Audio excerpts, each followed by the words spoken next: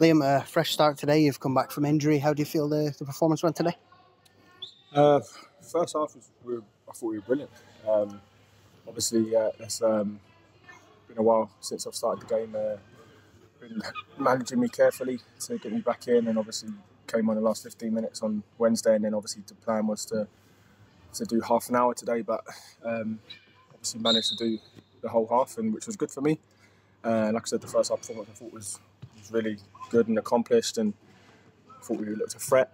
Uh, we looked like a looked like our, the team from last year, and obviously it's been hard with the squad being sort of so so um, brittle at the moment, as in numbers wise, and and asking the boys to go 90, 90, 90, sort of Saturday, Wednesday, Saturday, Wednesday, and um, and like I said, the first half was, was pleasing for us. Um, forced and then a few enforced changes in the second half. Um, again, needing to, to protect the squad, and obviously by us not being sort of competitive in this cup at the moment, you, have got to just protect the players. And obviously, the big the big reason is because the league starts next week.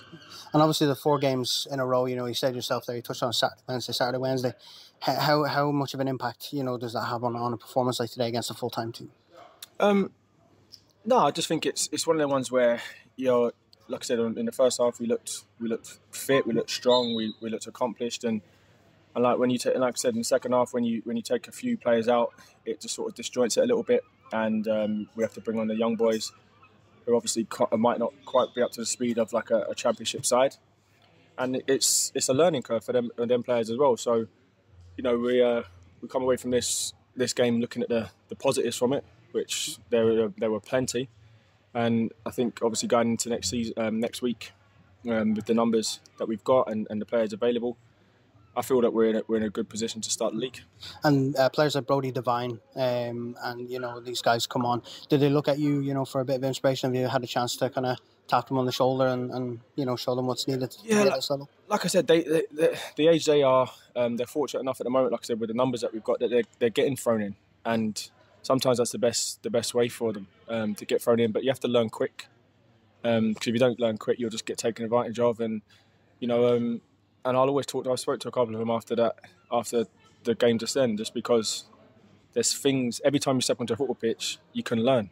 Like even myself, probably know know a lot of it now, but you can always still learn certain things from positional sense or just energy bringing it, bringing bringing the youth that they've got, use it, run hard. Come on, that's the one thing you can guarantee when you go onto a pitch. You know you can go on there and run hard for the for the team. Um, the rest of it, that just comes with confidence and, and, and getting on the ball and sort of and sort of releasing their sort of shackles of that that younger player mentality. Sometimes it's that little bit of fear. And I mean, we've got a good squad, and and you know, it's not the type of old school squads where the senior players are players you need to be scared of. It's, it's players that, that want to help you, and, and those younger players need to take that on board. And we're finished with this competition now, and, and like myself, sometimes you know you wake up on Monday morning, it's a new day, um, and we move on to you know the, the bread and butter of the league. Are you looking forward to getting straight into that competition? Yes, yeah, of course. Um, obviously, after the first couple of games, we knew we weren't going to be competitive in this cup, and it's one of the ones where it's just about getting minutes into the boys' legs, uh, fitness into them, and like I said, taking the positives from the from those games. Um, there's some really good positives from all the preseason games. I mean, the first half at Hibs, I thought we were brilliant. Um, the Bonnyrigg game, and obviously even the, the Celtic game, the way we started that. Um, and again, you learn from it. Like we've 3 0 up, we should score a fourth, and then we should shut the game out by that point. But, you know, it's all these, like I said, football's a learning game. You, you never know what's going to happen in it. And it's one of them ones where we have players with ability.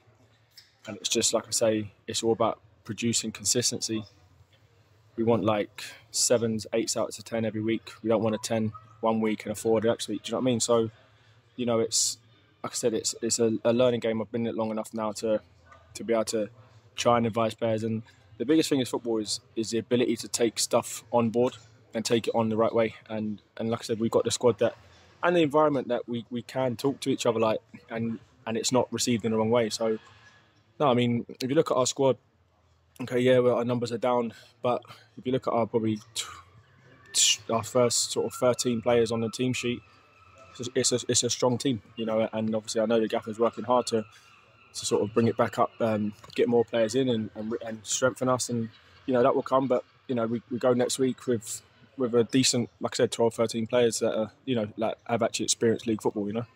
That's great. Thanks, Liam. Appreciate that. Cheers, mate.